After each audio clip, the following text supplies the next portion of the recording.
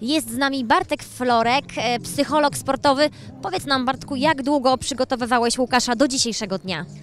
A do dzisiejszego dnia tak naprawdę od pomysłu to był gdzieś pewnie początek marca, połowa marca, bezpośrednio zaraz po rekordzie Polski, do którego również się razem przygotowywaliśmy e, z Łukaszem, no tylko wtedy było morsowanie, dzisiaj mamy e, suchy lód. Mamy ile czasu od marca? To jest jakieś pół roku? Troszeczkę z hakiem, nie? Także raz w tygodniu już od tamtego czasu, kiedy pojawiła się intencja Łukasza, czyli padł pomysł w tym momencie, jeśli chodzi o przygotowanie do takiego rekordu, od tamtego czasu, a tak naprawdę od czasu Łukasza urodzin, na których w sumie się też mieliśmy okazję zobaczyć, e, zaczęliśmy pracować ze sobą i spotykaliśmy się raz, czasem nawet dwa razy w tygodniu. I no, to mamy w tym momencie no, ponad pół roku pewnie, nie? Tak to wygląda. Czyli czas e, nie był długi, ale te przygotowania jednak były intensywne, regularne. To też na pewno przesądzi o, o dzisiejszym wyniku. E, Czy jesteś w stanie określić procentowo, mm, jak Twoja pomoc e, może pomóc Łukaszowi względem em, treningu ciała? Jak bardzo przygotowanie mentalne może wziąć górę nad przygotowaniem fizycznym? Ja powiem tylko tyle. Nie będę tutaj rzucał żadnymi procentami, natomiast e, powiem, co powiedział kiedyś słynny koszykarz Karem Abdul-Jabara, który powiedział, że umysł, przepraszam, ciało zrobi to, na co gotowy jest umysł. A z kolei Nowak Djokovic, czyli no, bardzo znany tenisista, w sumie numer, je, numer jeden dzisiaj na świecie, mówił, że między setką najlepszych sportowców jest bardzo mała różnica fizyczna, natomiast to, co determinuje wynik, to umiejętność radzenia sobie z presją i stresem w kluczowych momentach. I tym komentarzem to zostawię. W porządku. Y, Czy były jakieś momenty kryzysowe? Czy kiedykolwiek Łukasz e, zwątpił w swoje powodzenie?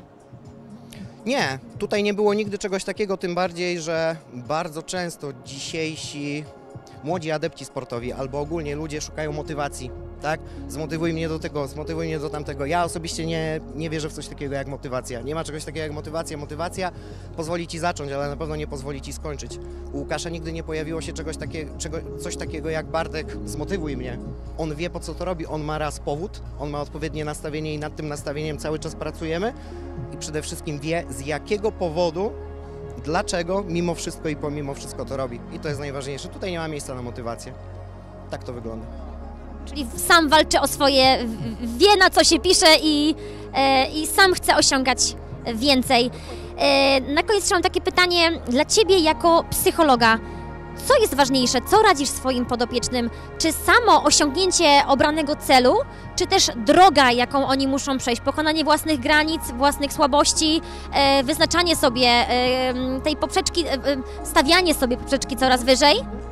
E, Jest takie powiedzenie, natomiast nie jestem pewien, czy mogę zawrzeć tutaj wulgaryzm, bo to byłby cytat. Okej, no to nie będę zawierał. Może, operator może sobie z tym poradzi. Okej, Okej, jest takie powiedzenie PKP. Proces, kurwa, proces. I to oznacza nie więcej i nie mniej, że to jest właśnie ten proces i ta droga. W tym momencie cel i osiągnięcie tej wisienki na torcie, okej, ono będzie smaczne, ono będzie fajne, ale czasem zdecydowanie ważniejsze od tego, co jest na samej górze, jest to, kim ty się stajesz w drodze osiągania. A w drodze osiągania, czyli przez ten czas, który minął od tego marca, załóżmy, odkąd się przygotowujemy, Łukasz jest zupełnie innym człowiekiem niż był jeszcze pół roku temu. I to jest właśnie to, to kim ty się stajesz w drodze osiągania.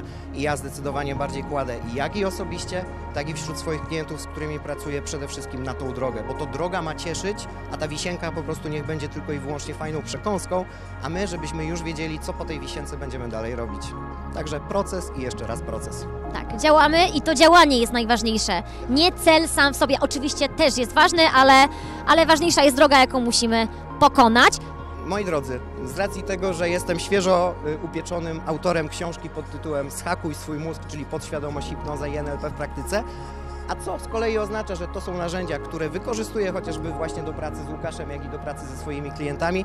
Jeśli chcecie osiągać więcej, jeśli kiedykolwiek zdarzyło Wam się, że chcecie jedno, a robicie drugie, czyli chcę iść na siłownię, a tak czy siak nie idę, chcę schudnąć, a tak czy siak nie chudnę, to ta książka po prostu jest dla Was i serdecznie ją polecam jako sam od siebie. Bardzo dziękujemy. No myślę, że mi się przyda. Super, dzięki za rozmowę.